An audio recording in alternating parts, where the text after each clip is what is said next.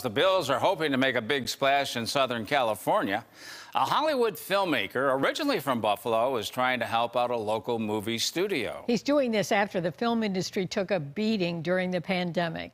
News 4's Jeff Preval has this story. Jeff? And Jackie and Don, that Hollywood film director is from North Buffalo and directed classics like The Mighty Ducks and The X-Files. He's seen the toll that the pandemic has had on the movie industry and is trying to do his part to keep it alive.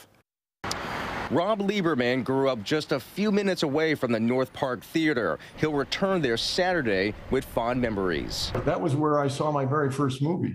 That's where I started the whole dream of becoming a film director. Started just a few blocks away. I was born and raised in North Buffalo on Avery in Delaware. Lieberman will host a screening of his 1993 sci-fi thriller Fire in the Sky.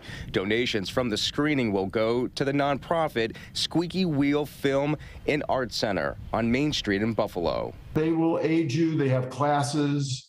Uh, and they uh, uh help promote first films. That's their main thing. You want to make a little short film, they're there to help you do it. The film industry has suffered from declining attendance at movie theaters amid the pandemic. That mixed with competition from streaming services has put movie theaters and film studios in a tough spot financially. Yesterday, Cineworld, the owner of Regal Cinemas, filed for Chapter 11 bankruptcy. The company hopes to restructure billions of dollars in debt. Regal movie theaters will still operate while Cineworld goes through Chapter 11.